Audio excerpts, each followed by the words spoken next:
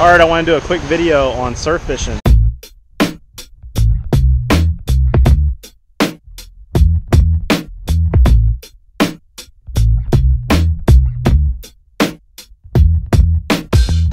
This is all my theory, right? So right now, we got four poles out. One, two, three, and then there'll be another one over there. So what we're doing is we have two light rods in short and a little rip right here with like shrimp or a little cut bait.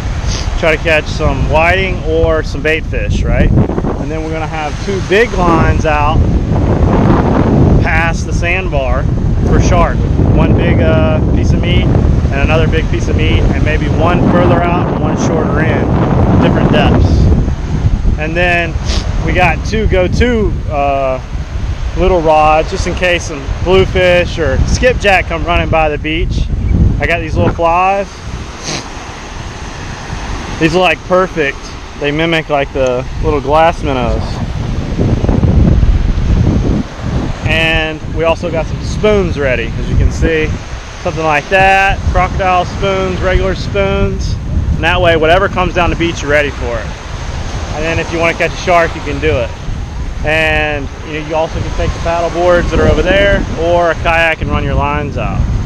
And the shark rig I'm running right here, I just got like some 40 and some 60 pound steel, really 42 right now, about eight inches of it with 60 and 80 pound mono behind it. And then 50 pound uh, cat or 50 pound power pro. That'll hammer down just about the black tips and that's all I really care about catching. So that is my theory on surf fishing. Get you some PVC rod holders, make them tall so they get up and over the break, and just get weird with it. Throw some big baits out there. We're using hardtails, ladyfish, and if you get a good bluefish, it's also good bait.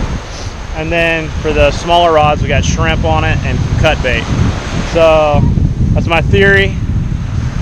Don't forget to like and subscribe. Follow me on Facebook at Yak Motley and Instagram Yak Motley and Twitter and JLM232310 on Snapchat. I'll see you guys later.